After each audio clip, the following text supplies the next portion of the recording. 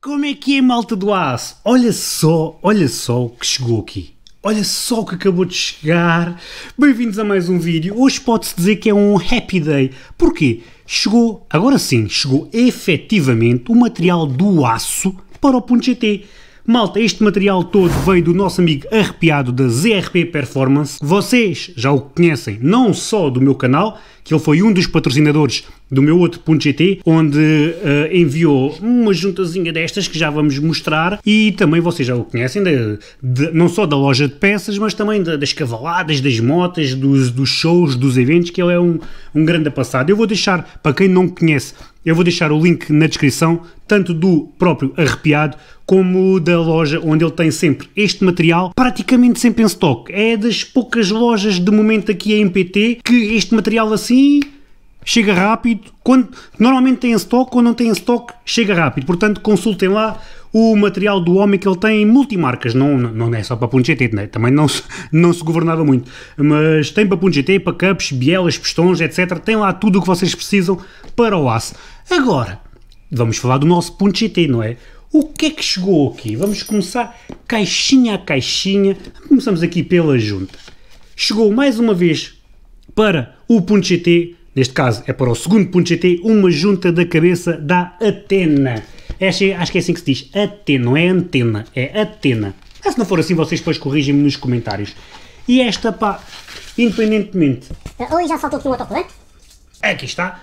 Este é um dos itens, mesmo que vocês não queiram carregar um ponto GT mesmo à séria, pá, os pontos GTs queixam-se muito de juntas de cabeça. Verdade ou mentira? É verdade. Epá, e esta junta, eu vou-vos dizer, o meu outro ponto GT um dos segredos estava na junta. É pá, só podia estar, porque eu dei-lhe porrada de meia-noite. O normal dos pontos GTs é queimarem a junta e aquele nunca se queixou de junta. E, é pá, está calor aqui dentro hoje. E eu tinha uma junta precisamente destas, uh, da Atena, precisamente enviada pelo mesmo arrepiado, 5 estrelas. Até hoje, até hoje o GT leva barrote e não se queixa. Depois o que é que os homens enviaram mais? Aqui a Poli da Cam, da Piper Cams, vou-vos mostrar aqui mais perto, a Poli da Cam.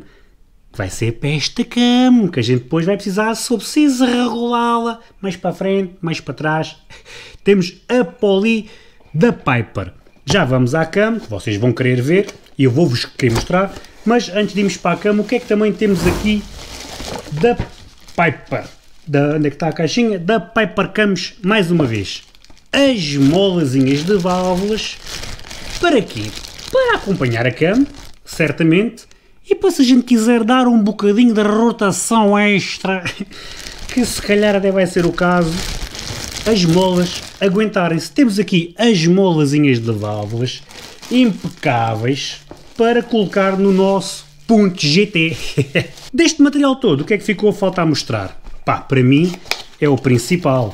Também da Piper Cams, a camezinha. Vou tentar, vou só tirar daqui a junta que eu não quero danificar nada antes de puxar. Eu se partir material a puxar, digamos, é pá, ossos do ofício. Agora partir material ou estragar material parado, não contem comigo que eu gosto de partir material. Quer dizer, gosto de partir não, eu se partir material é a puxar. E aqui temos a nossa, deixa eu tirar aqui a gaja. Olha aqui, consegues, consegues, consegues. Aqui está a nossa camisinha Piper Cams. Este é o modelo, eu não vou ter truques, não vou ser eh, tangas, este é o modelo 285, foi um modelo que em conjunto com o varanda e com o arrepiado e com um, a informação que obtivemos da cabeça, achámos o indicado para o setup que eu quero. Lembrando, isto não vai ser um setup a fazer 3 mil cavalos, é um setup para o que eu quero e depois vocês vão gostar uh, do resultado. E pá, está mesmo calor aqui, pá. Devia ter ligado o AC, está mesmo calor aqui, mas continuando. Vocês depois vão gostar do, do resultado porque o carrinho, pá, se, se ficar como eu estou a pensar, vai encher mesmo cedo, vai parecer um TDI e vai ter sempre força até lá abaixo. Vamos ver, vamos rezar que corra tudo bem.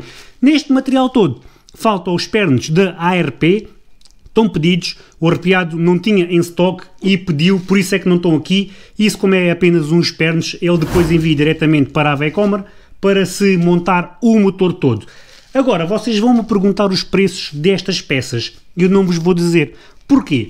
Porque o preço que ele me fez foi mais uma vez de patrocínio ao canal, ok? Eu posso vos estar a dizer o preço que ele me fez, depois vocês vão comprar e vão dizer, é pá, mas está mais caro. epá, efetivamente poderá estar. Ele fez-me um grande apreço, fez-me um pack muito porreiro de apoio ao meu conteúdo. Ele gostou de trabalhar comigo de outra vez, eu gostei de trabalhar com ele de outra vez e decidiu aderir. Fez-me aqui um pack muito fixe.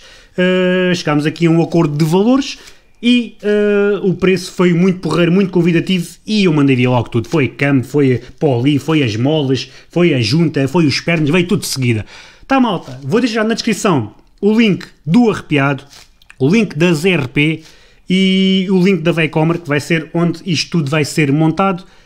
E depois vamos esperar o resultado. Olha o materialzinho de qualidade. Oh, quem, quem disse que este ponto CT ia ficar parecido ao outro? Enganaram-se. Bem, malta, fiquem bem. Um grande abraço e um grande gás.